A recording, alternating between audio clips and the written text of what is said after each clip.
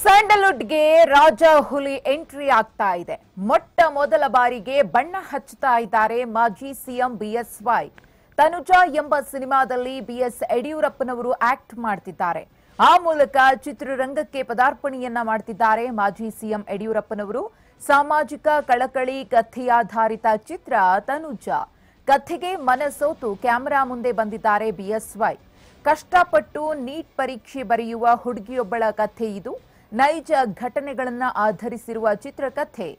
ರಾಜ್ಯ ಪ್ರಶಸ್ತಿ ವಿಜೇತ ಹರೀಶ್ ಹಳ್ಳಿಯವರ ನಿರ್ದೇಶನದ ಚಿತ್ರ. ಯಡಿಯೂರಪ್ಪ ನಟಿಸಿದ ದೃಶ್ಯವನ್ನ ಸೆರೆ ಹಿಡಿದ ಚಿತ್ರತಂಡ.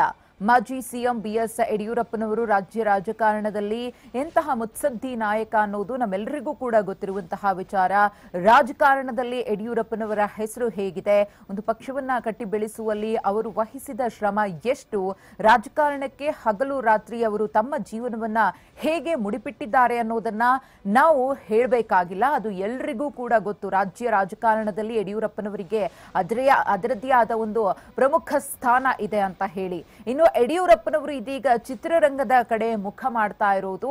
ನಿಜಕ್ಕೂ ಕೂಡ ಖುಷಿ ಕೊಡುವ ವಿಚಾರ. ಈ ಏಜ್ ನಲ್ಲೂ ಕೂಡ ಚಿರ ಯುವಕರು ನಾಚುವಂತೆ ಮಾಜಿ ಸಿಎಂ ಯಡಿಯೂರಪ್ಪನವರು ಆಕ್ಟಿವ್ ಆಕ್ಟಿವ್ ಆಗಿದ್ದಾರೆ. ಸೊ, ಈಗ ಆಕ್ಟಿಂಗ್ ಫೀಲ್ಡಿಗೂ ಕೂಡ ಇಳಿದಿದ್ದಾರೆ. ತನುಜ ಅನ್ನೋ ಸಿನಿಮಾದಲ್ಲಿ ಮಾಜಿ ಸಿಎಂ ಯಡಿಯೂರಪ್ಪನವರು ಬಣ್ಣ ಹಚ್ಚಿದ್ದಾರೆ.